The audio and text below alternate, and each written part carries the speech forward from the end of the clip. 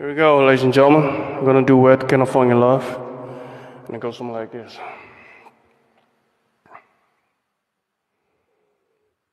Alright.